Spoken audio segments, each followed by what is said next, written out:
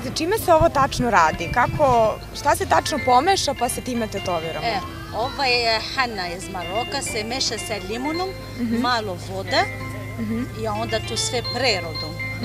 I tako se stavi na ruka, neke 15 minuta do 20. Sada stavlja ovo i šta ja radim posle? Da li čekam da se to osuši? Neke 15 do 10 minuta da bi malo si sušila i da izgleda lepo.